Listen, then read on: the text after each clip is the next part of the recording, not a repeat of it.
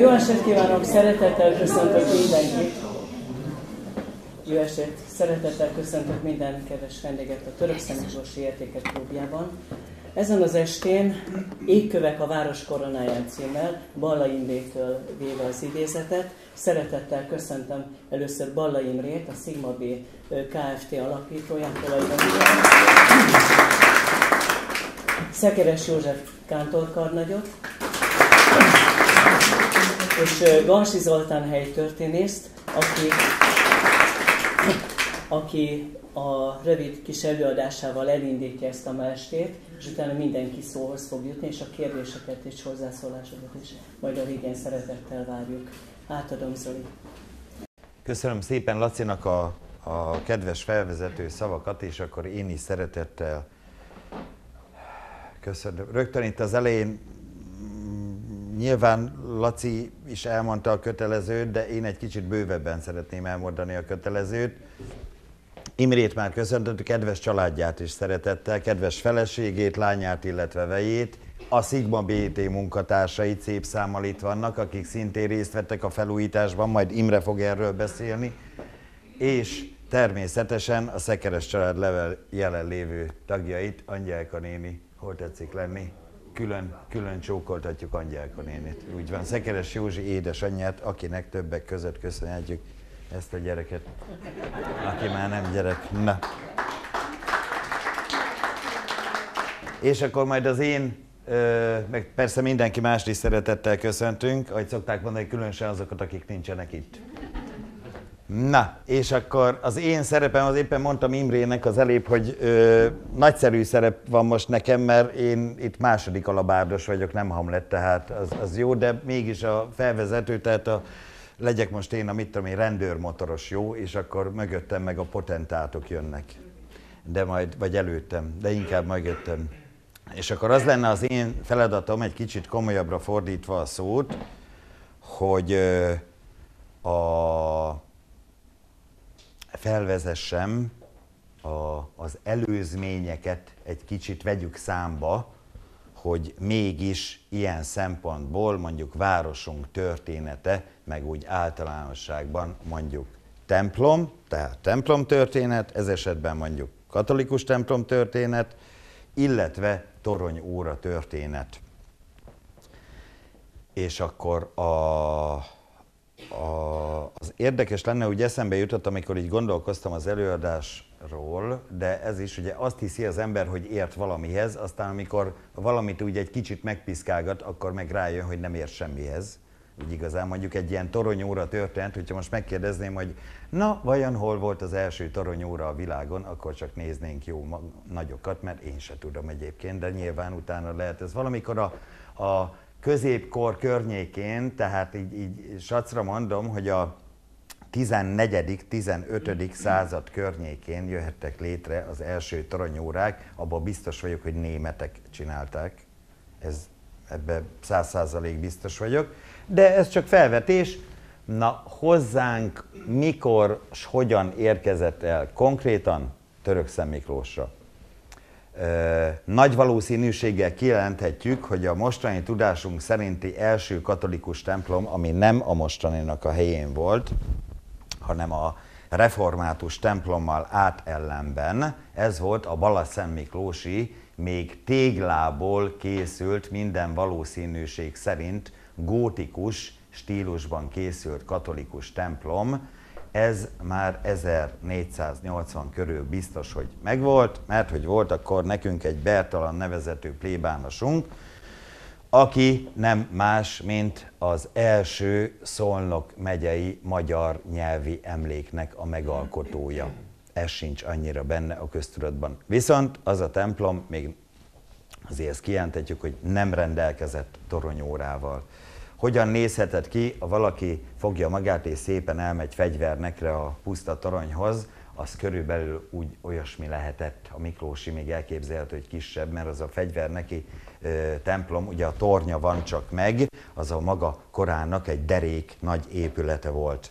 Ez elpusztult, még az első betelepülők látták, viszont Ugye oda 1720-at írunk, második Almási János a reformátusokat a régi téglatemplom romos téglatemplom környékére, a katolikusokat pedig a szintén elpusztult török vár környékére telepítette le. És akkor ők néhány évvel később érkeztek, kevesebben is voltak, éppen ezért második Almási János, aki szintén katolikus volt egyébként, ő építetett nekik 1730-ban egy kápolnát. A kápolna meg a templom között az a különbség, a kápolna az mondjuk, hogy mondjam, hatalmas kápolna az nem nagyon van, az kicsi. De az még hagyján, mert mondhatnánk, hogy templomba is van kicsi. Mondom a, a különbséget. A kápolna az nem állandó misézőhely, a templom meg állandó misézőhely. És ez a kápolna, ezen se volt még toronyóra. 1740-ben kibőv, bocsánat, 1740-ben, amikor létrejött az önálló török Miklósi plébánia, addig a török Miklósi katolikusok Tisza püspökihez tartoztak, konkrétan Tisza püspök így addig nagyobb katolikus közösséggel bírt, és egyébként az idén pont 250 éves Tisza püspöki templom, az mutatja, hogy ott egy jelentős katolikus közösség létezett. De a Miklósiak is megerősödtek, 1740 önálló plébánia, Akápolnát felszentelik templommá, vagyis állandó misézőhelyé. Hová jártak a török Miklósiak 1740 előtt misére? Püspökibe, mivel oda tartozott. Fogták magukat, és szépen kigyalogoltak. És akkor 1740-ben önálló, utána már itt templom, már lett a kápolna, de nagyon hamar a 18. század az a fejlődés, a gyarapodás évszázada. Országosan is, meg török Miklóson is. Mi mutatja ezt?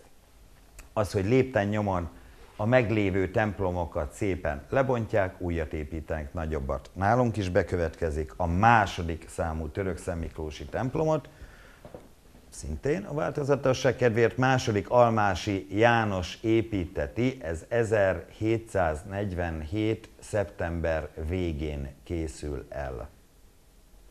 És akkor van egy ilyen kiadvány,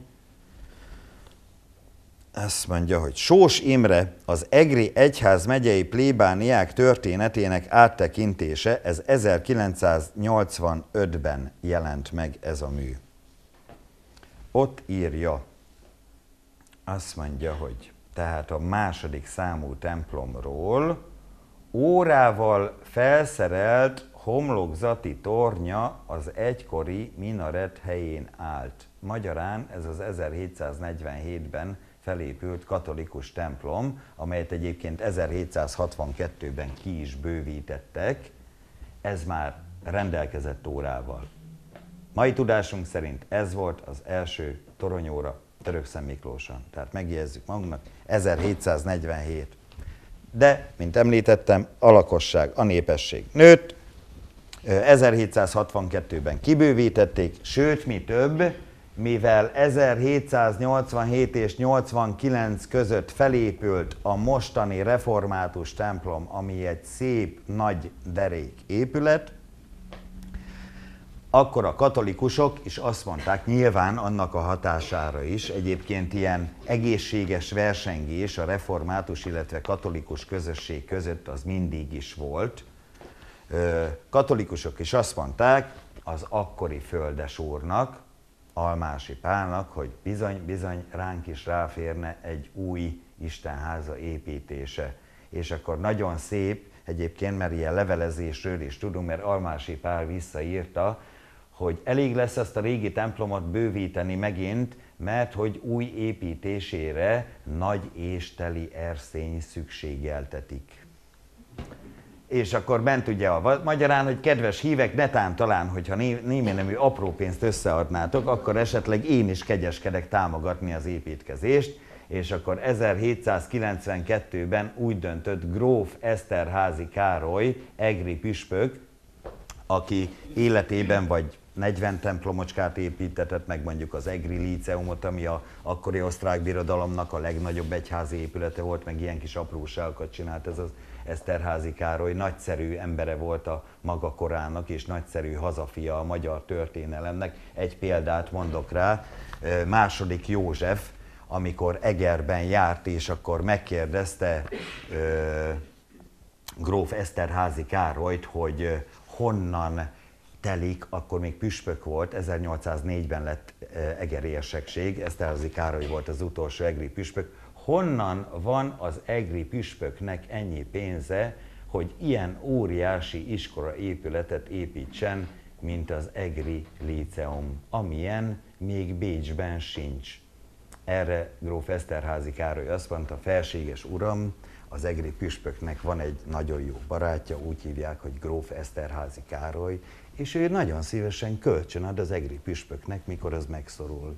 Magyarán a saját magán vagyonát ö, használta fel erre a célra többek között, és akkor ö, még egy anekdota szintén, ezt azért, hogy említsük meg, mert úgy rendesen oda ö, szúrt a Habsburg családnak, mert hogy azt is megkérdezte a nagy felvilágosult ö, második József Eszterházi Károlytól, akinek Griff madár van a címerében, hogy árulja már püspök uram, hogy vajon melyik földrészen él ez a Griff madár, ami az ön címerében van, és akkor Eszterházi Károly püspök úr azt mondta, hogy felséges uram, már csak azon a földrészen, ahol a kétfejű sos és akkor derék magyar ember volt. Na, tehát ő adott engedélyt, ha úgy tetszik, parancsot arra, hogy Török Szemiklóson új templom épüljön. 1796-tól 1803-ig épült körülbelül akkora nagyságú templom, mint a mostani református templom. Fényképpel is rendelkezünk róla. Én ö, bevallom, elfelejtettem most, de tessenek megnézni, mert mind az emléksorokban, de akár az, a Török Szemiklósi Képes Lapok nevezetű könyvben, mind az Üdvözlet Török Szemiklósról benne van ez. Ez egy barokk templom volt, ö, egy toronnyal rendelkezett, és látszik a fényképen, hogy van órája is, méghozzá a homlokzati részen és oldalt is, ezt is ilyen házi feladatnak adom magamnak is, de mindenkinek ajánlom, hogy nézzük már meg, hogy az egy tornyú templomoknak mind a négy oldalán van óra, vagy csak három. Mert hogy a, nyilván, hogyha a homlokzati rész látszódik, meg az egyik oldalsó rész, akkor a másik oldalsó részen is volt, de hogy hátul volt, abban nem vagyok biztos. Mint ahogy itt is, majd erről is lesz szó, nem négy óra van ám a torony egy-egy oldalán, hanem három mert hogy a kettő egymásra néző, oda, oda nem. Én azt hittem kölyök koromban, hogy hát oda meg lespórolták a, a, a mikor felújították? Nem. Tehát az eredeti fényképen is van egyébként teljesen logikus, hogy mivel az teljesen egymásra néz, és nagyon közel vannak, ezért oda nem tettek. Ö, az új óráról azt mondja, hogy ez a harm, bocsánat, az új templomról, tehát az 1796 és 1803 között épült templom, azt nem mondtam, hogy a 1747-es a Szent Miklós tiszteltére épült, ez meg a Szent, Szentlélek tiszteltére. 1807-ben szentelték fel egyébként. Mi szentelték, mi szentelték fel csak négy év múlva? Elment a plébános nyaralni? Négy évig? Nem, nem. Mi, a katolikus templom miben különbözik elsősorban a református templomtól? Na, akkor egy templomot kifesteni, az sok pénz vagy kevés? Az jó sok. Az jó sok. Tehát nyilván ugye az építésnél elfogyott a pénz, és várni kellett, amíg ki tudták festeni, meg a belfelszerelés. Ugyanez volt a helyzet a két tornyónál egyébként, hogy jóval később készült el a festés. 1807 ö, pünkösdjén szentelték fel, ugye a Szent Háromság ünnepe, ez volt a titulusa, és azt mondja, hogy ez a harmadik templom szép, boltozott, tágas építmény volt három oltárral, díszes toronnyal, rajta régi órával, a sekrestje felett oratóriummal. Tehát akkor itt is volt már toronyóra. Ez a 19. század elején egyébként már nyilván, ö, hogy mondjam, elterjedt volt egy ekkora nagyság, az ilyen nagyságú településeken, mint Török Miklós, vagy akár ö, kisebbeken is. Ez a templom bár már az 1850-es években is szűk volt, szűk volt, ez Pánti Endre leveleiből tudjuk, ő 1854-től 1860-ig volt itt helyben plébános, és a, az akkori egyházi újságokban, országos egyházi újságban, például a Religió vagy a Katolikus Néplap megjelentek levelei, és akkor írja, hogy bizony, bizony a Miklósi templom már kicsi a híveknek. Ment a vacilla, hogy azt a mostani református templomhoz nagyságú templomot kibővítsék, vagy újat építsenek. És akkor eljutottunk az 1895. esztendőig, mert hogy akkor Pánti Endre készítetett Vind Istvánnal, az Egri Főegyház megye építészével a kibővítésről egy tervet, de hát kiderült, nagyon örült neki a Miklósi Egyház tanács, de kiderült, hogy ez több mint 60 ezer forintba kerülne ez a kibővítés, és azt mondták, hogy ennyiből már új templomot is lehet építeni. Úgy döntettek, hogy új templomot építenek. Felépült 1898 és 1900 között a két tornyú templom. Egyébként már 1899 őszére készen volt, tehát másfél év alatt felépült ez a kis gyenge épület akkor, magyarán dicséri ez az építőmestert, meg ugye ne úgy gondoljuk, hogy megjelent két munkás, volt egy lapát, meg szereztek valahonnan sódert, meg cementet, meg mit tudom én, taigával hordták a, a téglát. Mert például azt tudjuk, hogy a török szemiklósi téglagyár az egy 500 ezeres tételt, meg egy 1 milliós tételt azt szállítottam. 4 millió tégla volt az éves termelés. Tehát körülbelül ez a templom építés, az a Miklósi téglagyárnak a fél éves, de még szerintem több. Nincs, érdekes, hogy nincs pontos számunk egyelőre, nem leltük meg, vagy leltem meg, hogy hány téglából épült. A református templomot azt tudjuk, de hát az más jellegű tégla volt még. A 18. század végi, az 588 ezer, ez, sacra mondom, ez olyan 2 millió, de lehet, hogy kettő és fél vagy három. Na, felépült, és akkor Aigner Sándor volt a tervező, ez egy budapesti építészmérnök, nagyhírű építész, és akkor az ő tervei alapján neoromán és neogót stílusban egységes a, a templom belső is, tehát azt is ő tervezte, a padokat, a szószéket, az oltárokat, és a többi, és a többi. És akkor nyilván a római katolikus egyház tanács, vagy ha úgy tetszik, az egyház községnek a jelentős alakjai, például, mint Lábasi János, igyekeztek a maguk módján hozzájárulni. Lábasi János például az új orgonát, azt mondta, hogy én kérem, állom az új orgonát. És akkor volt egy Szécsi István nevezetű ö, derék egyház tanácsi tag, aki egyébként volt 48-as honvéd, ekkor már nyilván vagy 71 nehány, 81 nehány éves, és akkor azt mondta, hogy na kérem szépen, én meg állom a toronyórát úgy, ahogy van. És akkor arra is, miután felvették a kapcsolatot toronyóra készítő cégekkel, de nem akarom majd lelőni, ezt már majd Józsi fogja elmondani, a, a kapcsolatot erre is az volt egyébként a technika abban a korban, hogy a templomra gyűjtőévet bocsátottak ki, tehát az építkezésre. Ott mondjuk volt, azt elfelejtettem mondani, volt azért két nagy adakozó, Pánti Endre 25 ezer forinttal, illetve egy török szemiklósi földműves házaspár, Csató József és a felesége Orosz Ilona, ők 20 ezer akkori forinttal járultak hozzá az építkezéshez. És az egész az került olyan 80 ezer forint környékébe, de a végén az összeg a réginek a lebontása, meg a belfelszerelés, meg ilyesmi, a 130 ezer forintot tett ki. Na most egy akkori forint az úgy nagyjából 5000 mai forintnak felel meg, tehát, hogyha megnézzük magában ezt az összeget, mondjuk Pánti Endre adományát, de ne is Pánti Endre, mert ő azért csak egy egri nagyprépost volt, választott püspök, az érsek után a második ember volt a főegyház megyében, akit egyébként úgy jellemzett a korabeli sajtó, mint az ország legjótékonyabb főpapja. Na és az ő 25 ezer forintnyi adományához képest egy török Szentmiklósi család közel annyival járult hozzá. Ez manapság ugye, ha beszorzom, 80 millió forint, azra is azt mondanánk, hogy Atya Úristen, de ez nem jó.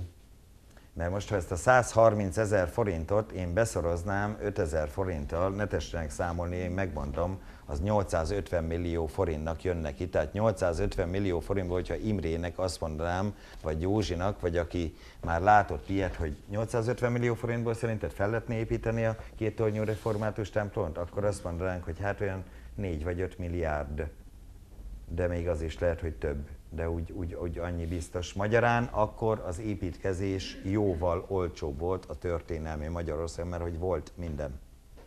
És akkor, hogyha már ilyen párhuzamot vanunk, akkor a mi templomunk az mondjuk egy időben épült az országházzal. Na, és akkor a technika meg az volt, hogy gyűjtőév, és akkor a toronyórára is gyűjtőévet bocsátottak ki. Szécsi István adta a legtöbbet, ő 600 forintot, és akkor még adtak hozzá, azt mondja, hogy dokt, ö, Szécsi István 600 forint, dr. Rétai Gyula plébános 100 forint, Fehér József főbíró 100 forint, Csató József, akik a 20 ezer forintot adták, 25 forint, Polgár Béláné, Báró Messzéna Stefánia 100 forint, Legeltető Társaság 25 forint, Özvegy Báró Bánfi Albertné 40 forint, Özvegy idősebb gróf Almási Kálmánné 100 forint, gróf Almási Dénes 25 forint, gróf Almási Imre a Szent Tamási kastély építetője 100 forint, gróf Almási Imréné 20 forint, Kunce Imre, aki ö, közel 40 évig volt a város főjegyzője és a katolikus egyháztanács világi elnöke 20 forint, Özvegy Polgár Mihályné 50 forint. És akkor így jött össze a török Szentmiklósi Szent Háromság római katolikus templom torony órájának az ára, amit Sovinski József budapesti órás mester készített, és akkor át is adom a szót Szekeres József Kántor úrnak, a torony óra szerkezetének és történetének legjobb ismerőjének. Köszönöm szépen! Egy kis technikai. Igen. Hát én egy kicsit más sorrendben állítottam össze, úgyhogy majd visszatérek a történethez. Én először arról szeretnék beszélni, hogy a magának az óralapnak a tervezése hogyan történt. Nem tudom, mennyire látszik a kép.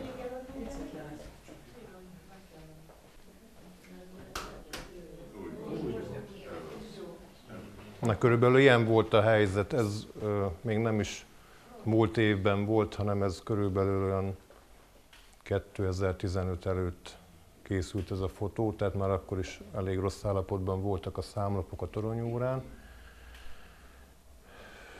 Ugye látszik, hogy a, a mutatók az még aránylag tűrhető állapotban voltak akkor, a számlapok viszont elég, a számlap elég rozsdás volt, illetve hát a számok is elég kopófélben voltak. Ugye a mutatók azért voltak viszonylag jobb állapotban, mert az már nem az eredeti mutatók rajta, akkor sem azok voltak, hanem azok 1996-ban készültek. Azt még édesapámmal csináltuk annak idején, nagyon sokáig nem, nem működött a toronyóra, én nem is emlékszem rá, a gyerekkoromban se, hogy működött volna. És akkor megjavítottuk a szerkezetet, illetve új mutatók készültek a régi mutatóknak a maradványai alapján. Tehát ez nagy valószínűséggel, hát nyilván semmi se sikerül pontosan ugyanolyanra, két tojás se egyforma, de valószínű, hogy nagyjából így nézhettek, nézhettek ki azok is. A számlapokat azt 90-es évek elején azt már újra festették, illetve amit így hallomásból sikerült kideríteni. A 40-es években is festették újra számlapot, tehát elég sokszor sor került ilyen munkálatokra. 96-ban készültek tehát a mutatók, akkor még aránylag ugye majdnem friss volt a számlapok festése, és akkor azóta működik az óra. Ugye itt elszaladt egy pár év, igen, akkor ez egy közelebbi kép magáról a számlapról, ez még fent van a tornyon, ott látszik a tégla. Hoztam ilyen kis lézermutatót, tehát itt a téglafal. Tehát itt teljesen volt, ahol át lehetett látni a lemezen. Tehát annyira megette a rózsda. A, ugye az volt az első cél, hogy hát próbáljuk visszaállítani olyanra, mint amilyen eredetileg volt, tehát a számoknak az alakjai olyanok legyenek, mint ami hát valószínűleg eredetileg festve volt. Az minden esetre látszott, hogy ez a 92-es felújításnál nem pontosan olyanok a számok, mint egy-két régi képen, amit megtaláltunk. Ez a fotó ez 1982-ben készült, Ekkor volt ugyanis harangszentelés a templomban, két új harangot hoztak akkor. Ez a, egy képnek egy kivágott kis része, tehát azért van csak rajta az óra, ott látszanak ilyen láncok meg mindenek, ugye ott a harangot annak a segítségével tudták beemelni a toronyba.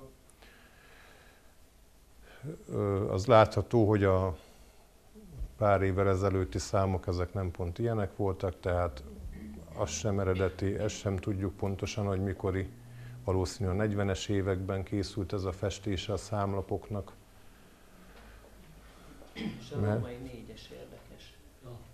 Azt majd még elmondom, külön. Mehetünk tovább.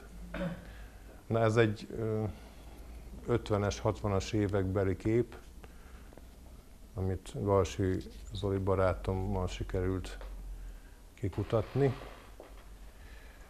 ezek, ez a kép az, ami alapján végül is elkészültek a számlap tervei.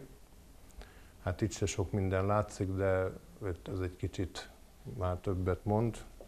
Van egy következő, mint csak a számlap van kinagyítva, hát így nem sokat mond, de ez a legjobb kép, amit a legrégebbi számábrázolású találtunk.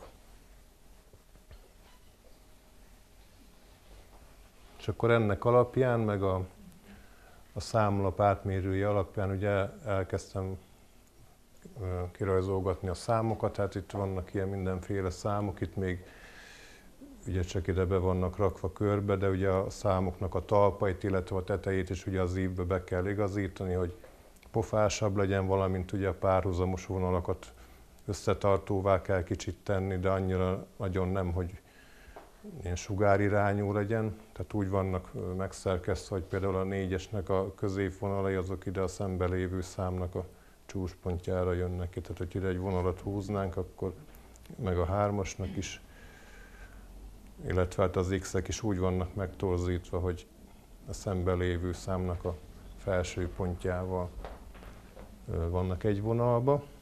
Ez érdekes, hogy itt, itt külön le, ki, ki vannak téve a számok, amik itt vannak a számlapon körbe, itt ezek nagyon csúnyának mutatnak, teljesen el vannak tózóva, de viszont egy körébe vannak belehelyezve, akkor teljesen más a látványa. Például itt a négyesen a legszembetűnőbb, hogy ez, ez itt az a zöld, ez párhuzamos még, ezek már összetartóak. És a négyes miért így írták? Hogy eredetileg így volt, hogy négy vonal, mert tudod, az úgy van, mint a hatos, csak Igen, ez az toronyóráknál ez szokás, majd elmondom ezt is, hogy miért.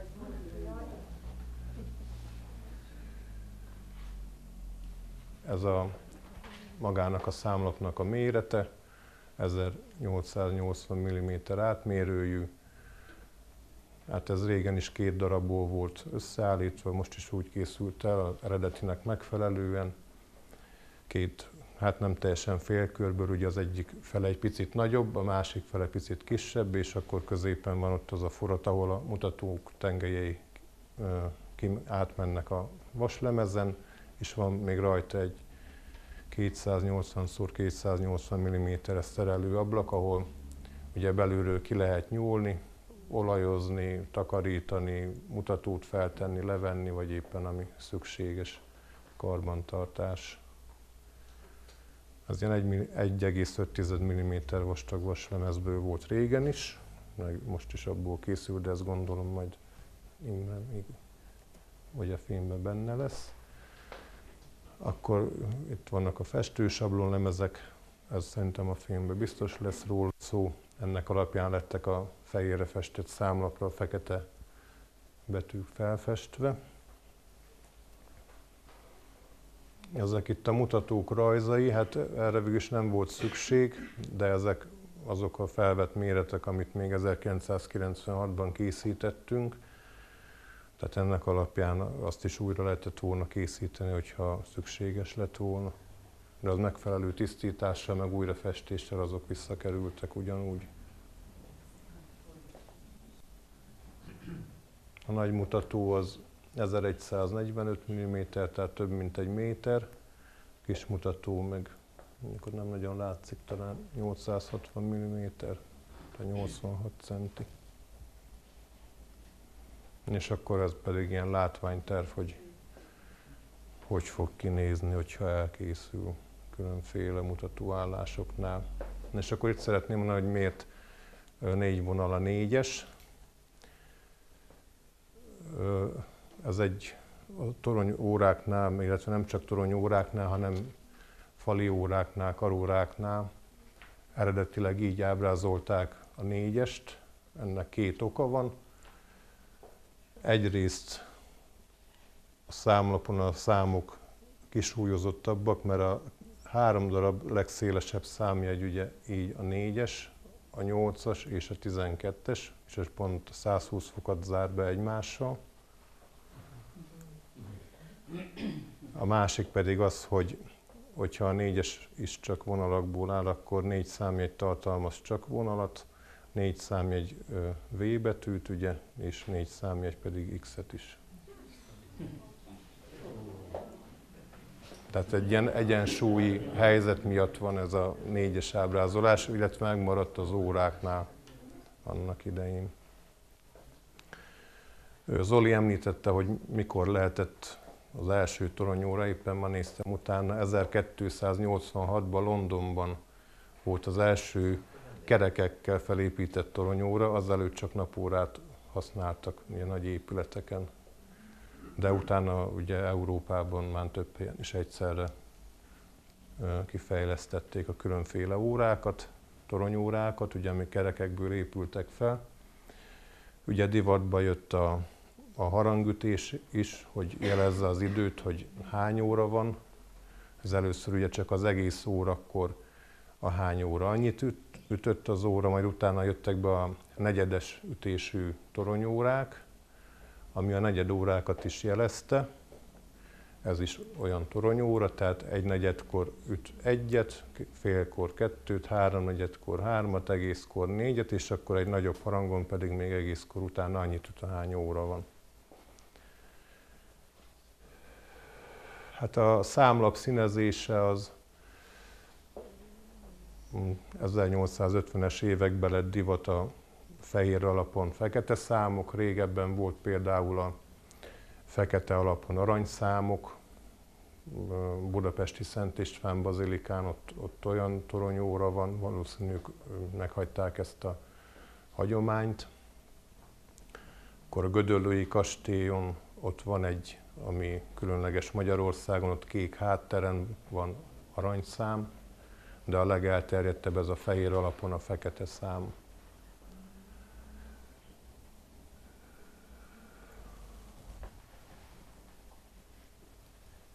Akkor is most visszakanyarodnék egy kicsit a történethez. Tehát Sovinski József, ő egy órás mester volt, budapesti műhelyen rendelkezett.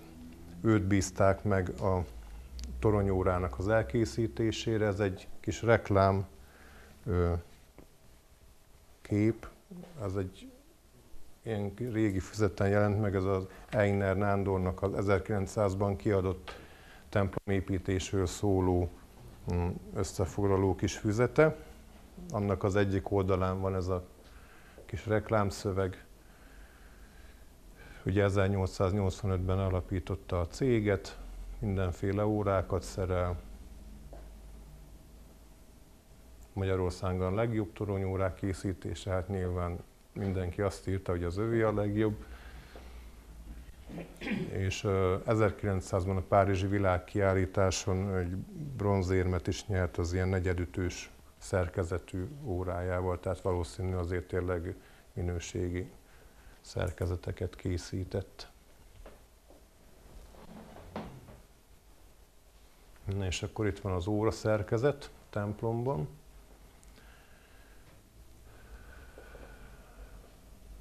Ez egy fából készült üvegezett szekrényben van egyébként, tehát ez a szekrénynek itt az alja. Ez nem mostani felvétel, ez régebbi, mert van egy toronyórákkal foglalkozó ismerősöm, Takács Józsefnek hívják, ő a Debreceni Egyházi Levéltárnak a, hát nem tudom, vezetője volt, de most, hogy az-e még, vagy szerintem már nyugdíjas, és neki kellettek fotót készíteni, és akkor ez a szekrény le lett bontva.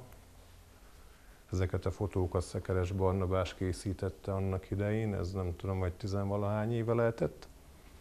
Tehát itt látható a szerkezet, kerekek, inga, tengely, lesz közelebbi.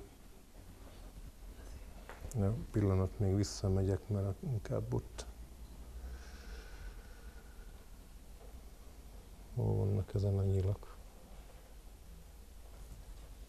Itt.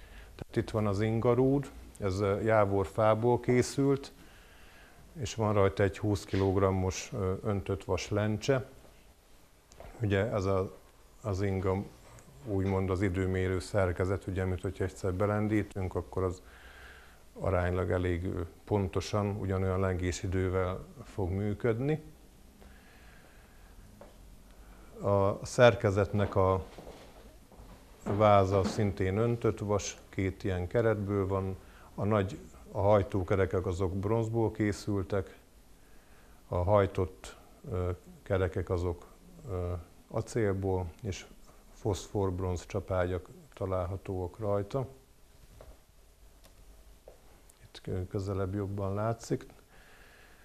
Tehát itt van az inga, itt van, ezt hívják gátkeréknek, ugye, ami az ingába mindig beleakad, hogy ugye mikor felhúzzuk az órát, akkor utána ne pörögjön vissza az egész, és akkor gyorsan elszalad az idő, hanem szépen lassan megfelelő mozdulatokkal ö, haladjon a mutató. Tehát itt ezek a hajtókerekek, ezek bronzból készültek, itt a csapágyak azok foszforbronzból, és vannak még itt különféle szerkezetek. Az inga az két ilyen kis acéllapon van felfüggesztve, az néha el szokott törni, akkor azt ki kell cserélni, és akkor addig áll az óra. Itt látható még a három kötéldob, tehát itt van egy, itt meg itt. Ezen egy 5 mm vastag drótkötelek vannak ugye felcsévélve. Ezért van ebből három, mert a középső működteti magát a mutatórendszert, az, a jobb oldali az működteti a negyedütést, tehát a, a negyedütő harangon kongat megfelelőben, ez pedig itt a egész óra ütéseket működteti.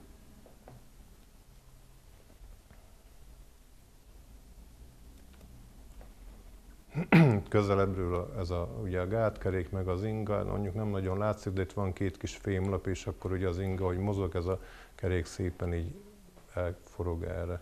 Ez egy perc alatt fordul meg, és akkor az összes kinti mutató egy percet előrébb ugrik, tehát nem folyamatosan haladnak a mutatók, hanem percenként mindig egy percnyit mozdul. Ez itt a kontroll számlap. Itt rajta van a gyártónak a neve, Sovinski József Budapest 1898. Tehát ez nem egy önálló kis óra szerkezet, hanem a mutató tengelye oda is ki van vezetve, és akkor itt ugye a szerkezetnél láthatjuk, hogy mennyi az idő, illetve hát, hogy odakint, mint mutat, ugye ez össze van hangolva. Itt vannak a fémsúlyok, ugye a három dobnak a három súlya, középső ez működteti a mutatót, az a negyedütő, ez pedig az egész óraütő öt vasból készültek, hát ami egy magában van, az körülbelül a 40 kg lehet, ez olyan egy mázsa körülbelül, ez meg a kettő között valamennyi. Na, itt jobban látszanak a ez egy fából készült ilyen spirális bemarással egy henger, ugye azon vannak felcsévélve a drótkötelek. Van hozzá egy kurbli, amit rá lehet helyezni, és akkor azt naponta kell felhúzni. Tehát 36 órát bír ki egy teljes felhúzással, de hát ugye ez úgy célszerű, hogy naponta az ember felhúzza. Na most itt látszik egy kis, nagyon kicsike kis fém henger alakú kis dobozka. Hát ez neki a lelke itt. ez az, ami a Sovinski Józsefnek a saját találmánya volt, az a precíziós óra szerkezet, ami abból áll, hogy ezt a gátkereket, amit az előbb ugye már szemből láttunk, ezt nem, nem közvetlenül a súlyok által húzott kerékrendszer tartja feszültség alatt, hogy működjön, hanem közben van iktatva egy kis rugó ebbe a kis rugódobban, és ez mikor egy perc letelik, akkor ez mindig utána húzódik, és ugye akkor egyszerre léptetnek a mutatók is. Ennek az a lényege, hogy a, ha változik az időjárás, vagy a szerkezetnek a kenése, vagy hó rátelepszik a mutatókra, akkor ez nem befolyásolja magának a gátkerékre jutó erőnek a mértékét, mert ez a kis rugó ez mindig egyenlőképpen fogja ezt működtetni, így, is, így az inga is még pontosabban fog, egyenletesebben fog járni. Jó. Ez itt a egész ütőnek a, hát most már úgy mondanák, hogy a memóriája, hogy tudja, hogy mennyit kell ütni. Ugye ez itt különféle hosszúságú sávokra van beosztva egy ilyen ö, csőszelet, vagy hengerszelet, vagy nem tudom micsoda, és akkor itt tudja számolni azt, hogy mennyit ütött, és akkor mikor odaér, akkor ez a kis kilincs ide beugrik, és akkor megáll az óraütés. És ez a kis mutató pedig mindig azt mutatja, hogy az utoljára egész órakor hányat ütött. Ez itt a templom. Ez meg egy ilyen kicsit félbevágott templom. Tehát, hogy az az egész hogy is áll össze. Tehát ez itt, ez a része a templomnak, hogyha itt, itt van egy lépcső, ugye kőből, ide bemegyünk, ez itt az orgona karzat.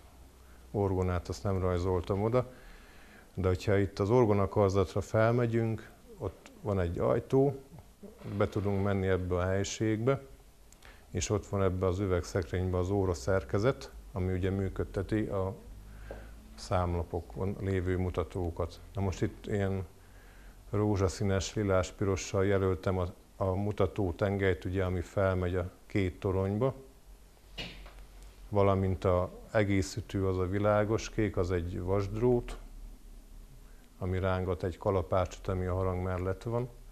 A sötétkék pedig a negyedütő, ugye az a nyugati toronyban van, az egy kisebb harang, az egész ütő pedig a keleti toronyban egy nagyobb harangra üti a a megfelelő számú gondolást.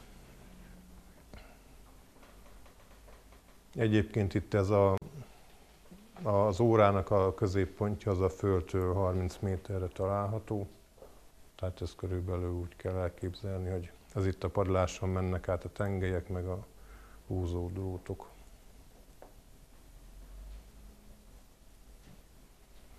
Igen, és akkor ez itt egy ilyen kerékrendszer, ugye a, a, magából az óra, óra szerkezetből egy darab tengely megy fel a tornyokba, de mivel nyilván minden számlapon két mutató van, hát kellene még egy tengely valahonnan.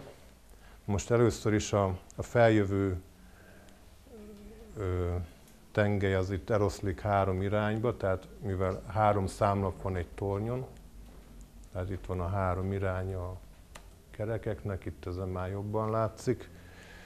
Itt egy kicsit lelátni ezen a téglarakáson, itt van ez alatt vannak a harangok, tehát ez már ott van fent az óraszámlapnál, itt látszik is az óraszámlapnak a hátulja.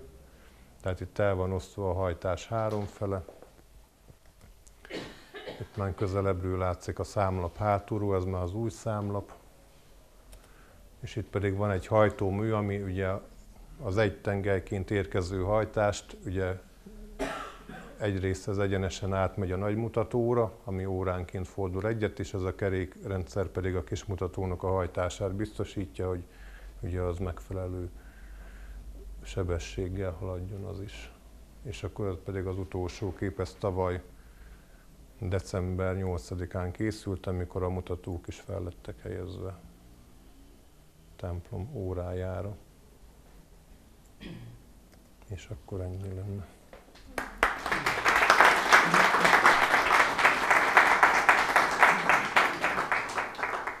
Köszönjük szépen Szekeres Józsefnek az előadást. Most fölkérem Balla Imrét, hogy a film előtt pár szót mondjon a felújításról. Jó estét kívánok, szervusztok, köszöntök mindenkit. Hát nem is tudom, hogy ilyen nagyon fontos dolgok után, meg nagyon ügyes dolgok után én tudok-e valami érdekesebbet mondani, vagy érdekeset, amivel a figyelmeteket le lehet kötni. Tulajdonképpen hogy is kezdődött ez az egész dolog el, mert ugye megkezdünk valamit, és hogy hogy alakult ez ki egyáltalán. A lényeg a következő, hogy hogy is kezdtük el ezt az egész történetet. Ugye a templom folyamatosan és gyönyörű szépen újult meg, azt tudjuk nagyon jó az utóbbi években. A hozzátartozó környezet, a terek, a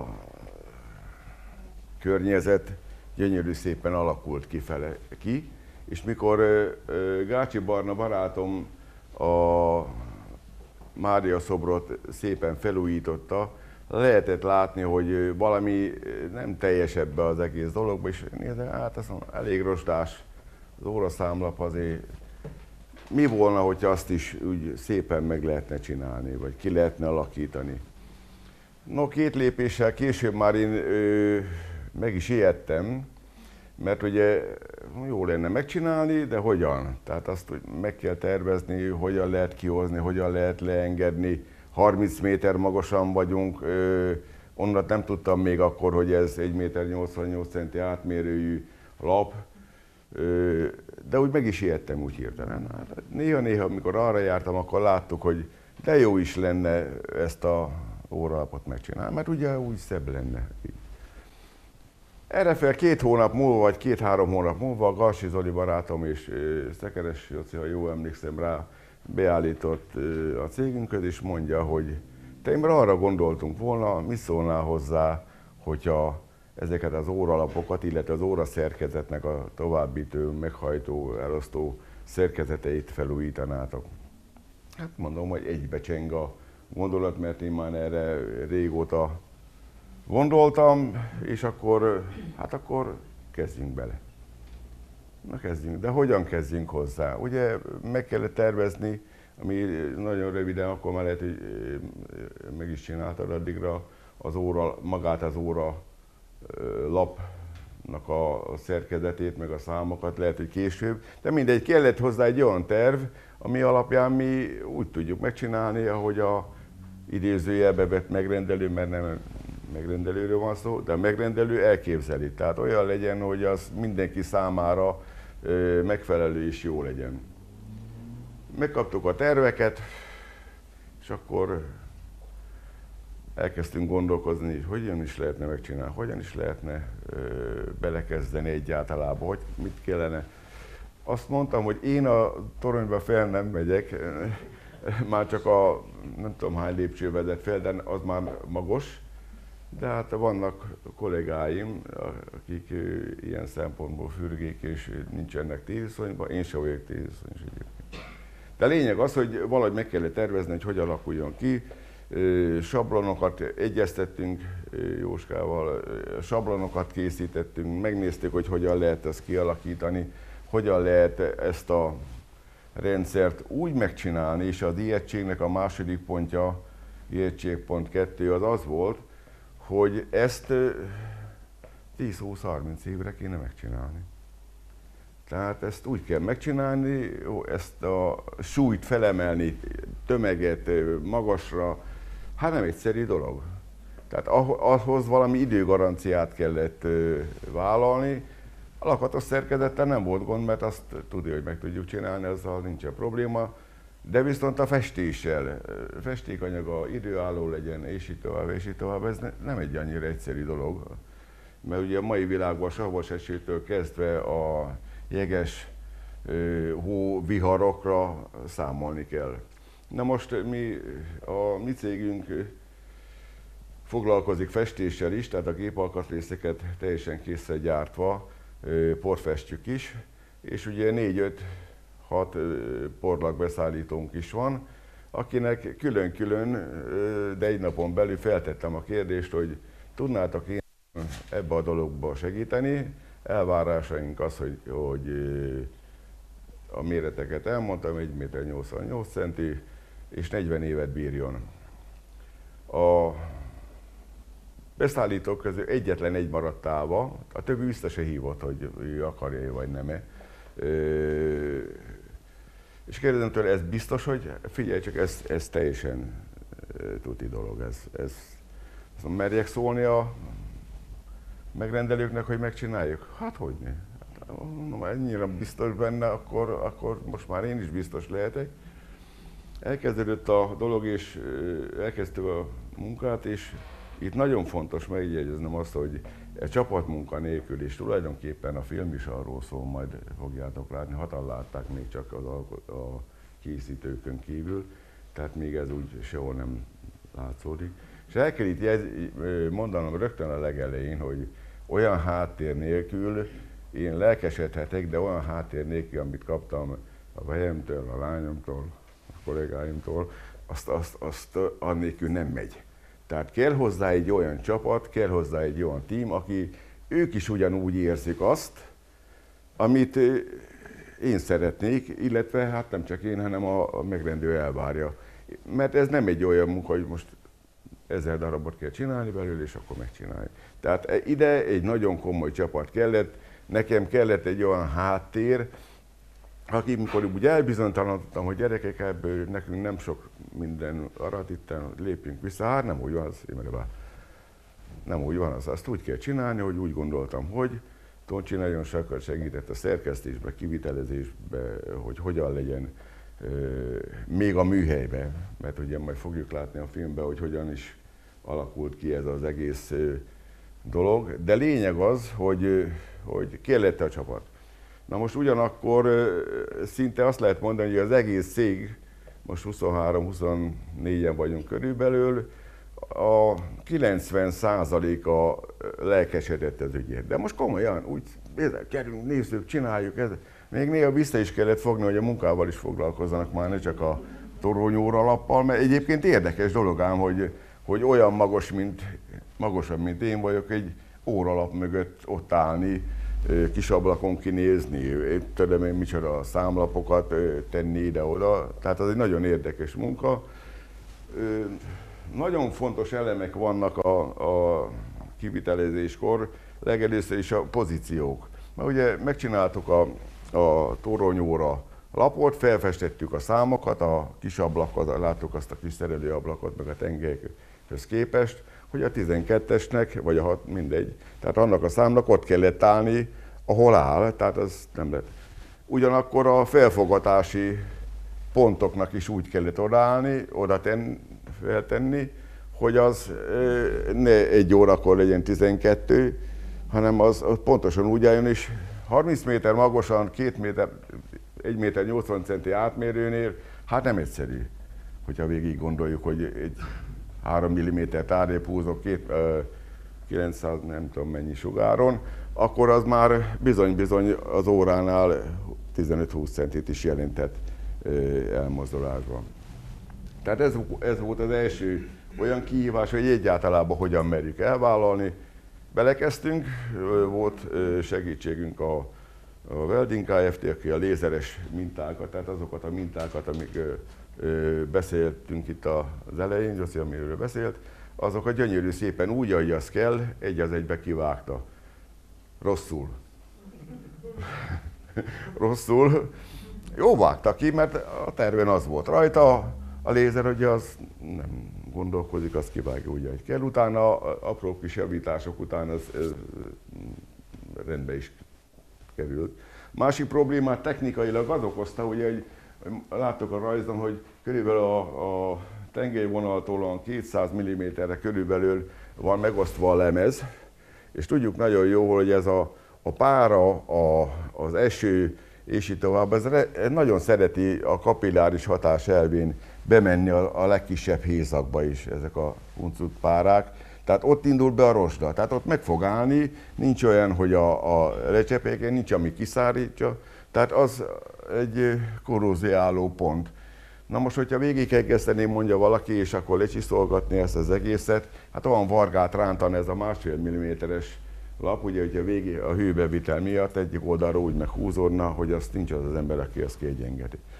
Na mostan, igen, itt, itt lehet látni, hogy ez itt van toldva, hátul meget, háta meget egy erősítéssel, és ezt úgy kellett összehozni itt közötte, ne legyen rés, mert akkor péndul arra. Na mostan, mielőtt tovább mennék, az órával kapcsolatosan van egy történet. A sógorom, Isten nyugasztalja, Dörfi György Budapesten élt és dolgozott nővéremnek a férje. Nyaranta ugyan 10 éves koromtól 10-12 éves, 13 éves koromig nyaranta felmentek, felvittek nyaralni, ugye közvetített üdülésre a nagynémékhöz, és ő meg egy párszor elvitt a munkahelyére. Hát gondolom, hogy nővéremnek dolga volt, és hogy én nem maradjak otthon egyedül, akkor elvitt.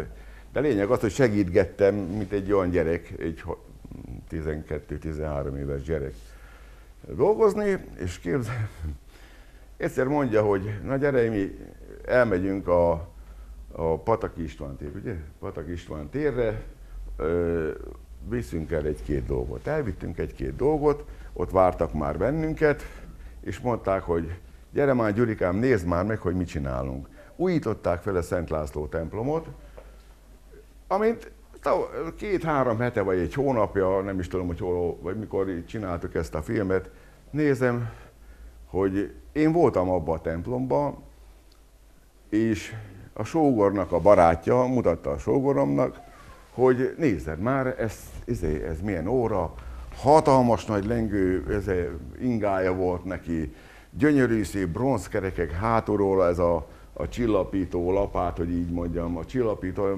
az a szelelőkerék, biztos, hogy hűtse fogaskerekeket gondolkoztam ide, és kiderült, hogy az a templom óra, még ez a templom óra testvérek. Korban is, meg mester szempontjából is. Hát így jut vissza az élet, hogy... De erre egyébként most jöttem rá, hogy, hogy az a Szent László templomba az az óra szerkezet van, amit én akkor láttam, és úgy megcsodáltam, utána jó van, azt, és akkor eljöttünk. Tehát ez egy, egy alap történet, hogy így mondjam. Nos, hát hozzákezdtünk a, a számlap gyártásához, mikor oda került a sorra, hogy le kell festeni, a filmben is szerepel ez, sokat nem is akarok mondani, de nagyon fontos a történet ez, mert ott nem emelték ki. Arról van szó, hogy ezeknek a festéktechnológiájának az a lényege, hogy jó legyen, hogy fémtisztára az egész szerkezetet le kell szórni. Tehát annak fémtisztának kell lenni. Tehát nem lehet rajta reve, nem lehet rajta kisrosda, mert ott be fog indulni az egész, és akkor az, az el fog terjedni, és akkor le fog... Tehát azt kellett csinálni, nagyon érdekes dolog, hogy leszemcse szórtunk egy óralapot, és mikor készen volt ez az óralap, az a technológusok, techn- mérnökök, akik a festéket hozták, végignézték négyzetcentiméterenként, hogy rendesen le van-e tisztítva, fordítsd meg, megnéztük a hátulját, de viszont négy órán belül le kell festeni, mert a levegőbe levő pára az a korróziót beindítja. Tehát ott nem nagyon lehetett úgy különösebben vacillázni, hanem azt kellett csinálni, hogy készen van, nézzük át, nagyon alaposan tisztít, tehát pornak, piszoknak, kosznak, egyéb másnak nem lehet lenni, annak fémtisztának kell lenni, úgy, hogy az Isten megadta. És akkor jöttek elő a farvával idézőjelbe, hogy hoztak egy olyan alapozó porlakot, amit Amerikában, most nem azért, mert amerikai, de ott fejlesztették ki, és Miami-ba, Floridába tesztelték, úgyne, ezt, ezeket a vizsgálatokat úgynevezett ezer órás ö, showpermet vizsgálatnak szokták alávetni. Tehát ezer órán belül meg kell karcolni a pestékréteget, egy keresztet kell rátenni, és ezer órára beteszik a, a kamrába. Na most tudjuk, hogy Florida tengerpart, rettentő sós levegő van, rettentő korrózió veszély áll fent, tehát ott tesztelték ezeket a porlakokat, visszatérve az előzőre, tehát mikor ö, tesztelik, ezer óra múlva kiveszik a, a, a sófürdőből, sópermetből, akkor épp egész, tehát megvan adva egy vagy két milliméter széles ö, korrózió csíknak lehet lenni, de úgy, hogy a fém, alapfémtől elválás nem történt, nem lehet. Na hát ezt mi is megcsináltuk, teszteltük is, nem a sópermet vizsgálatra, mert azt uh, itt uh, a környezetünkön nem lehet megcsinálni, de mi elhittük, a, el is hisztük a, a mérnököknek, hogy ez, ezek, ez, ez olyan lesz, amilyen mond. Tehát meg volt az alapozó festék, nagyon jó kollégáim, akik itt ülnek a sorainkba, készítették el úgy, ahogy azt uh, kell, beégettük, és utána abban a pillanatban már a fedő, még, hogy még akkor is, hogy ne legyen véletlen valami probléma, lefestettük arra a fehérre, tört fehérre, amit itt látunk, vagy látjuk az életben. Tehát nem világító hófehér jégfehérre csináltuk, hanem inciri-pincirit tört fehér színű ennek a tört fehérnek mondjuk, festettük le. És utána jött a, az izgalmasabb része, ezekre a lapokra a számokat rá kellett festeni. Na de hogyan? Mert ugye, ha csinálunk egy gyönyörű sablont, rendben van, csinálunk egy sablont le, festegetjük úgy, hogy kell, levesszük a sablont, azt elmaszatolódik az egész, és akkor nem csináltunk semmit se. Tehát olyan precízen, finoman kellett mindig ott azon a részen, most gondoljunk el a 12-esnél vagy a 4-esnél, hogy milyen óvatosan kellett lenyomni azt, de úgy megcsinálni, hogy kb. 5-10 mm volt a, hát még annyi se de 5 mm volt a, az anyag és a, a, a minta között a különbség, azt ott két dolgozó négy ujjával, vagy egy, dolgozó négy ujjával lenyomta, és akkor nagyon finoman lefestették. Olyan speciális festékkel, úgynevezett púrhabos alapfesték, festékkel, fekete festékkel, amit úgy gondoljuk, hogy időálló lesz, mert ez kifejezetten arra a technológiára van építve, hogy ahhoz az alapozó fedő festékre nagyon jó kössön meg és. És ehhez hallatlan precízen meg kellett csinálni. Na jó, van 30 méterről nem nagyon lehet látni, hogy mostan egy kicsikét, hogy elmasztatolódott, de hát bocsánatot kérek. És hogyha valaki távcsövezik, vagy, vagy fotózik, mint Jóska csinálta itt, hogy úgy ki nagyította, hogy lehet rajta látni, rajta nagy. Visszatérve, hát meg el is készült egy óralap, mikor elkészült egy óralap, akkor jött az izgalom, hogy na, akkor ezt feltesszük, hogy hogy működik a dolog. És akkor kivonult a, akinek, akit megbeszéltük, hogy ki ennek, és ugye levenni a régit, Jó, Jóska csinált egy olyan speciális szerkezetet, amivel gyönyörű szépen tekerni kell, de úgy tessenek elképzelni, hogy tekeri a, a kúbrit, vagy hogy mondjam, de a filmen ma jól lehet látni, és akkor egy rúd megy kifele a térbe, vagy így mondjam, és utána egy gyönyörű szépen le is engedi azt, amiről szól. Na de hát 30 méter magasan vagyunk. Vejem mondta is a filmben, majd lehet hallani, hogy több ember kellene, de legalább három, de nem is fér el több ember. Tehát ott azon a helyen, hát ott lehet öt ember, de akkor abból három nem tud dolgozni, az biztos, mert úgy állnak, mint a, a konzervdobozba halak. Tehát nincs hely. Tehát ott nem lehetett úgy megcsinálni, kicsikét múltat, csak erre, ott nincs hely.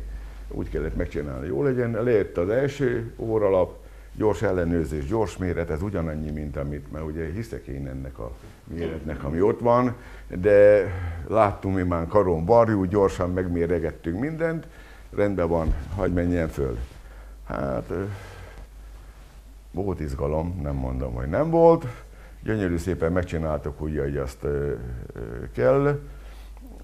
és mikor látok rajta, jó sikerül a, a szerkezet első, utána megcsináltak a többi ötöt. Na mostan lehetne még erről mondani nagyon sokat, de még egyszer mondom, hogy annélkül az én terveimet megvalósítani, hogy nem áll mögöttem egy olyan csapat, mint a miénk, annélkül nem lehetett volna belekezdeni. Én ennyit szerettem volna mondani erről, a, mert a 23 percben a film az mindent elmond.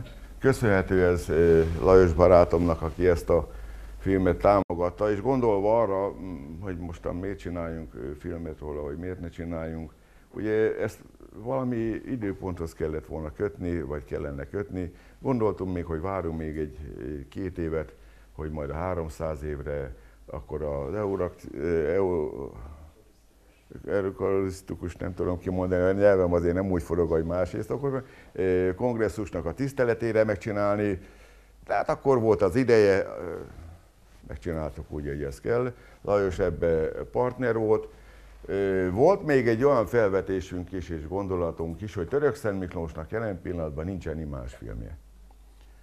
Tehát nincs egy olyan film Török Szent Miklósról, hogyha ide jön valaki Franciaországból, hogy hogy bemutassuk neki Török Miklóst és környékét. Most nem ezer filmről van szó meg az óralapról, de ebből 3 másodperc, vagy 15 másodperc, vagy 20 másodperc elképzelhető, hogy belefilm, beleférne abba az imás filmbe, amit Török Szent Miklós már régóta megérdemelt volna, de jövőre szerintem 300 és évforduló, ha valaki ezt megcsinálja, ott áll az ajtóba és fogja a fényképezőgépet. Gondolom én.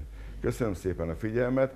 A film után, hogyha valakinek kérdése van, azt Lajoshoz, vagy hozzám, vagy Öcihoz tessenek szívesek feltenni. Köszönöm szépen a figyelmet!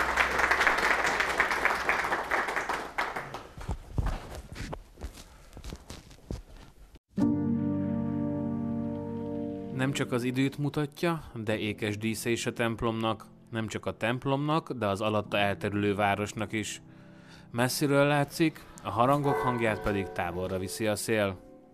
Szekeres József Kántor már 25 éve orgonál a templomban, az épület történetének jó ismerője. Szinte minden tud a múltjáról, ismeri a falak közt megbúvó történelmet. 1900-ban készült el a templom, az óra is azóta méri a megállíthatatlan időt.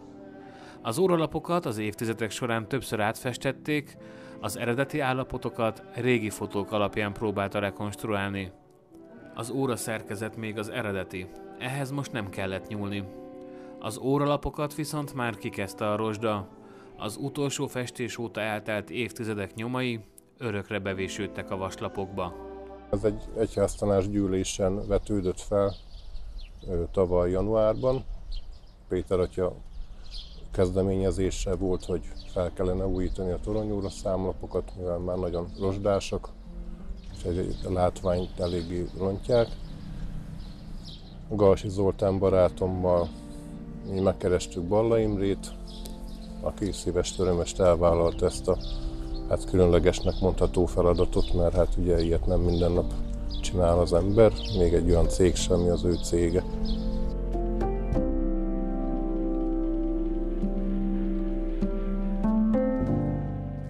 Gondolom, hogy valamilyen nyomot kell hagyni az életbe valahol, hogyha nem is túlságosan sokat, 10-15-20 évet az ember munkásságából, és azt gondoltam, hogy ezt a óralapot, ahogy egyre ö, csúnyább lett, hogy így mondjam.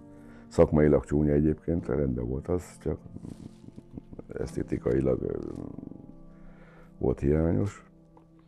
Gondoltuk, hogy meg kéne, le kéne cserélni, vagy fel kéne újítani. Ez így is maradt, tehát idáig elmaradt mikor csinálták a Mária szobrot, nem tudom, valakivel sajnos nem jut eszembe, hogy kivel beszélgettünk, hogy nézd meg, milyen szép lesz a bejárat a, a főtemplomnak, és az óralapok meg milyenek. Hát ebbe is maradtunk, hogy majd egyszer, majd vagy valaki, vagy, vagy majd szólnak. És rá vagy három hónapra jelentkezett Galsi Zoli, Szekeres úrral, együtt, hogy mi az elképzelésük. nem én megcsinálna a Sigma BKFT, adjunk már egy árajánlatot. Az árajánlat már eleve réges-régen megélelődött az emberbe, hogy ne, hát ezt meg kéne csinálni. Motiváció meg mégis mindig az, hogy ugye itt szépen lassan fel lett építve egy, egy vállalkozás, egy-két-három főből szépen lassan családi vállalkozás lett, és ugye egy technikailag egy pár gép hiával tulajdonképpen egy kompressz kis lakatos üzemet sikerült összehozni, amiről kevesen tudnak a városba vagy a környéken. De nem baj az, az a lényeg, hogy nekünk munkánk legyen, és annak a 23 főnek, vagy 24 főnek ö, tudjunk munkát adni, és ugyanennyi családot is nyilvánvalóan eltartani. És itt, ha belenézünk, belegondolunk, akkor minden szakma ö, kihozhatta saját magából a legjobbat. Az elhatározás és a tetrekészség találkozásából nemes dolgok születhetnek, de mielőtt bármit tenne egy jó szakember, meg kell tervezni a teendőket. Hát ugye az első az volt, hogy a, a számokat megtervezni, tehát amit mondtam, egy régi fotók alapján, Hát ugye ezt manapság már ugye számítógépes grafikus programmal lehet megvalósítani. Ez egy festősablon miatt kellett, ugye, mert egy festősablonnal készítették el a számokat a számlapra. Lézer technikával vágták ki ezt a sablont, és ezt kellett ugye számítógépen úgy megtervezni, hogy ez használható legyen.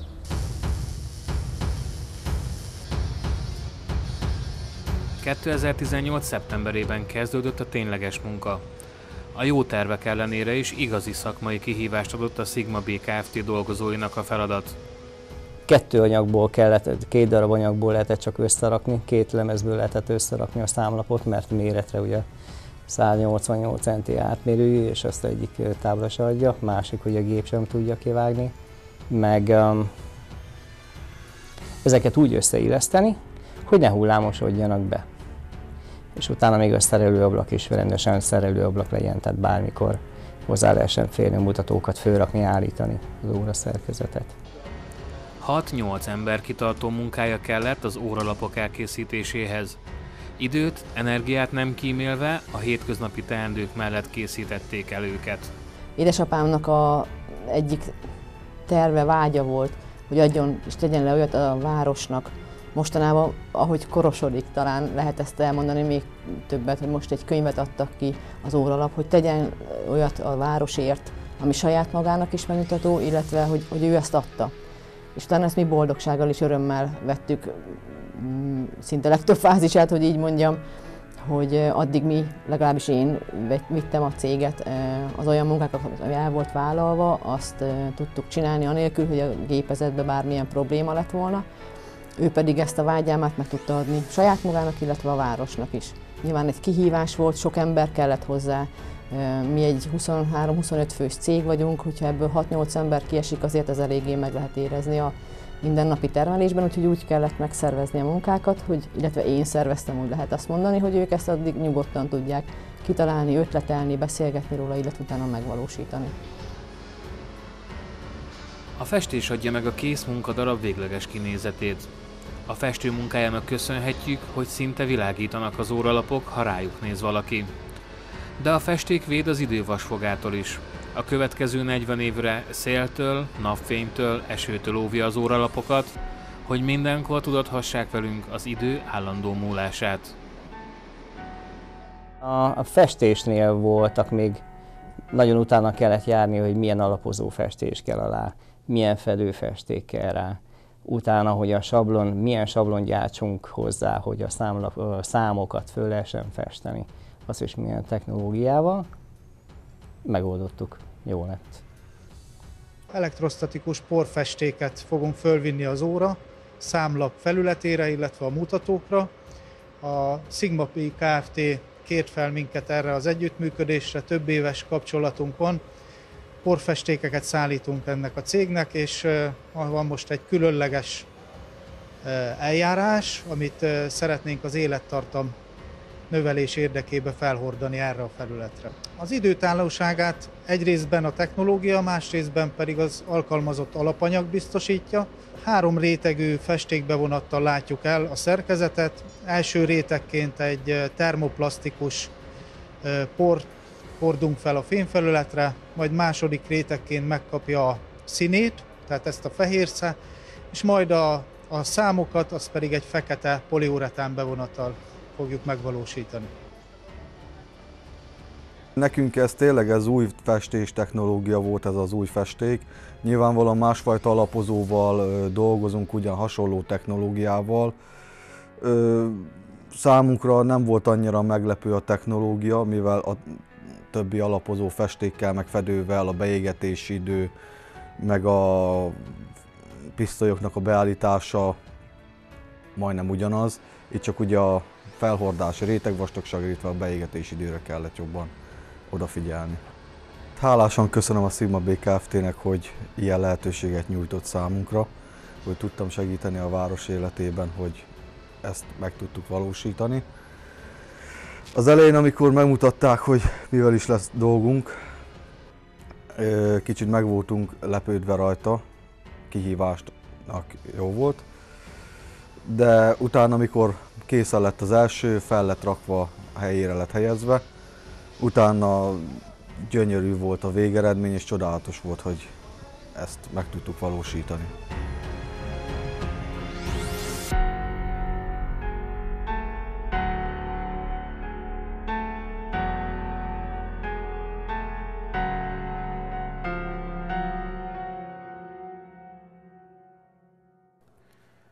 Tekintsünk egy kicsit vissza az óra történetére. Sovinski József budapesti órástmester készítette 1898-ban. Mára nem sok működőképes darab maradt kis hazánkban a munkáiból. Nem egyedi toronyóra, Sovinski József által készített török Miklósi toronyóra, ő egy budapesti órásmester volt, az országban több is készített, főleg Budapesten készített toronyórákat a századfordulón. Az egyik a kőbányai Szent László templom, de ott sem működik már ez a szerkezet, csak még darabjai megvannak, illetve az Erzsébet városi templom, ott sem működik, de viszont ott a, a számlap, illetve a mutatók hasonlóak e-, ehhez. A harangokon üti az óra a negyed és egész órákat, ugye a harang lengését ez nem akadályozhatja, az oldalról üti meg a harangot, ez egy külön kalapács, amit szintén az az óra szerkezet működtet. Az első óralap, kamerák és fényképezőgépek mindent látó lencséjének kíséretében került a helyére, és az izgalom mellett arra is jutott idő, hogy néhány mondatot a riporternek is válaszoljanak az alkotók. Így esett, hogy a Miklósi toronyóra híre eljuthatott az országban mindenhova. Felajánlásból újulhat meg a török Szent Miklósi katolikus templom két tornyának hat órája.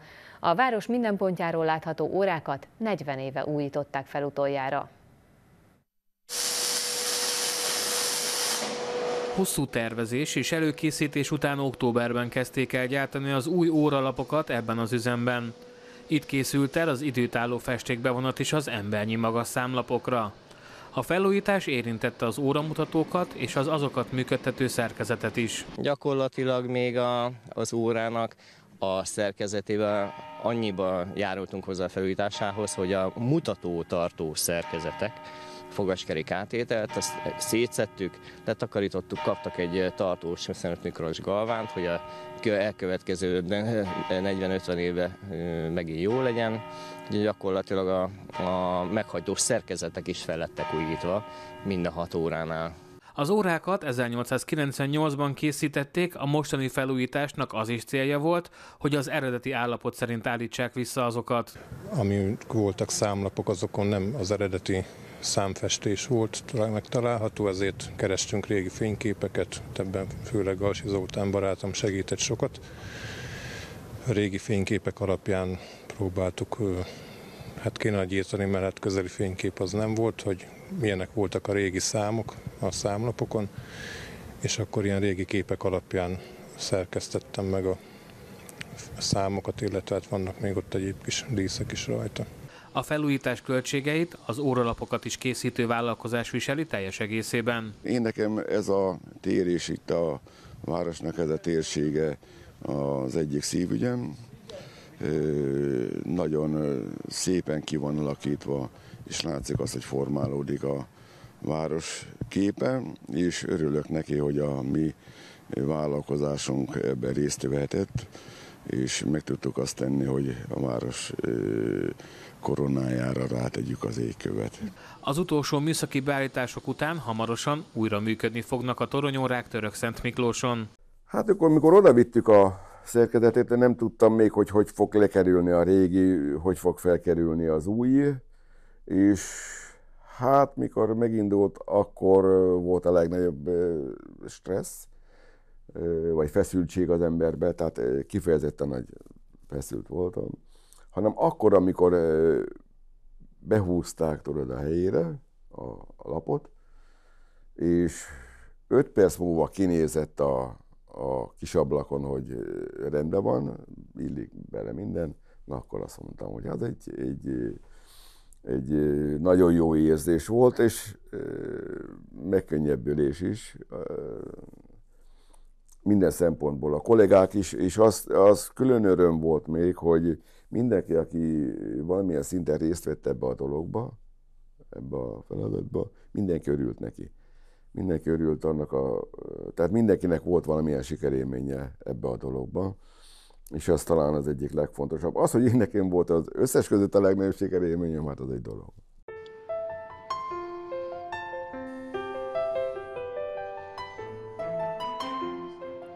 Miután az első óralap sikeresen a helyére került, bebizonyosodott, hogy tökéletes volt a tervezés és a kivitelezés is. Így az utolsó műhely munkák után most már a további öt óralap is a helyére kerülhetett.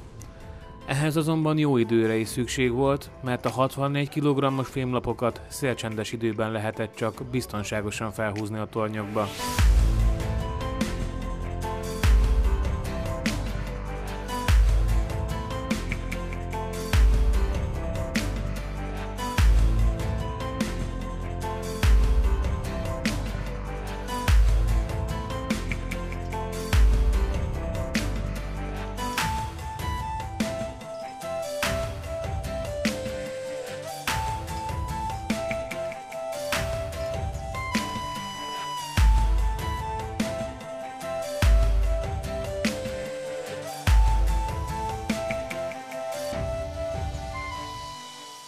Gyakorlatilag ez úgy kerül le onnan, hogy ott van rögzítő szerkezet, ott van fönn, van fönn egy csörlő, drótkötéllel szépen leengedik, alulról megfogják a kötelekkel, hogy ne lüvegjen, illetve be kell még pozícionálni, hogy például tornyot ne verje le, amikor fölhúzzák. Fönt elég kicsi a hely, a furatok, tehát ahova beülnek, ezek a számlapok nem ilyen nagyok, csak ilyen kis cicaszem alakú kis ablak van, és ott kell elférni azoknak az embereknek, akik behúzzák magát a számlapot, meg is kell tartani, és közben meg rögzíteni kell. Tehát a, azért nem olyan egyszerű, és, mi, és ez nincsen nagy hely fönt. Kevesebb ember kevés, több ember meg nem fér el. A, különböző spaniferek és, és kötelek vannak fönt, amik itt a rögzítés, egyszerűen a csőlő ki van rögzítve, úgyhogy bujkálni kell elég rendesen, nem olyan, nem olyan egyszerű, mint amilyennek látszik innen lentről. Most, most, most nyomják ki a helyéről, fiúk, fiúk kapaszkodnak a kötélbe. Jön a Aha, most látszik a cicaszem. És a fiúk most a kötélen ö, fönt engedik le szépen lassan a csörlővel, kinyúlik a csörlőnek a szára, szépen engedik le a drótkötélen, itt pedig lent a, a kollégák pedig erősen vigyáznak arra, hogy semmihez ne csapódjon hozzá a régi számla. A régi számlapnak a sorsa gyakorlatilag egyelőre itt a, a templomban lesz elhelyezve, de már jelentkeztek, jelentkeztek, hogy nekem is kellene, nekem is kellene, tehát úgy néz ki, ki lesznek ezek állítva, így megőrzés, tehát uh, így ahogy van, ki lesznek állítva. A mutatókat azokon a nyílásokon, azokon kell kidugni, és úgy kell ráhúzni az óra szerkezetre. Amikor itt a pontos időbeállítás is van, ott kell, kinyúl, ott kell kinyúlni a kollégának, csavarok föl az itt, és akkor beállítja az időt.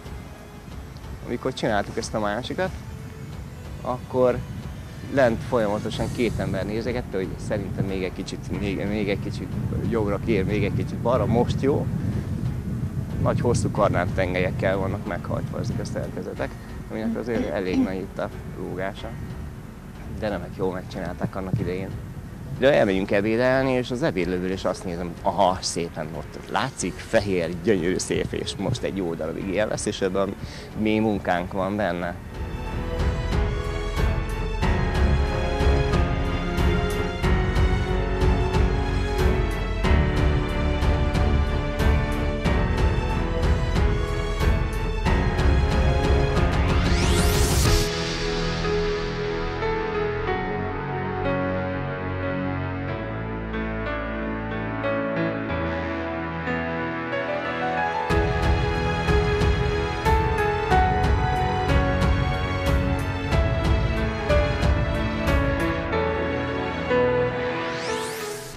Élveztem az egészet. Nekem nem volt benne olyan, hogy pú, ezt most nem tudjuk megcsinálni, ez nem is meg nehéz, meg a... nem, ez teljesen jó kis kihívás volt, meg büszkeség, hogy aha, ezt mit csináltuk.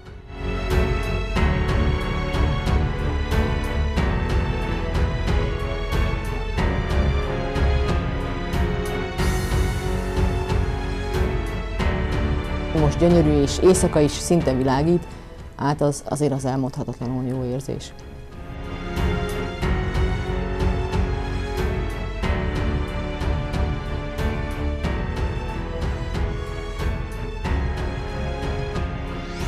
Ennek az óralap projektnek, vagy a könyv Szerelmünk Szent Miklós projektnek pontosan az a, a lényege, hogy bemutassuk azokat az embereket, akik nem, nem is akar, van, aki, aki nem akar kamera elé állni, vagy nem akar róla beszélni, de tudja, hogy ott van. Tehát én mindig azt mondom az embereknek, akik dolgoznak, hogyha majd egyszer arra sétáltok, az unokátokkal, vagy a, gyerekeitekkel, hogy na nézd csak azt apu festette, vagy apu csinálta, vagy...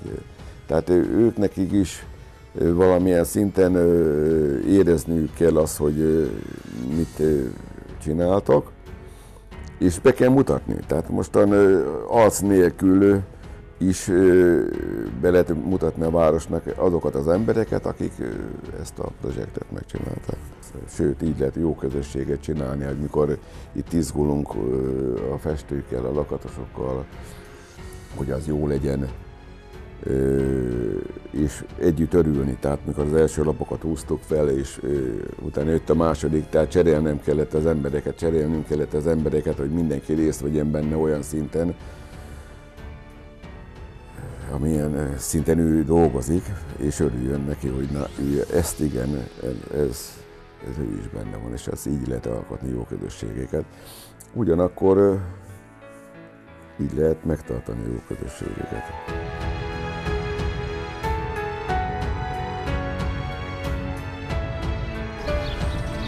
Hát szép látvány. Örülök neki, hogy az is rendben itt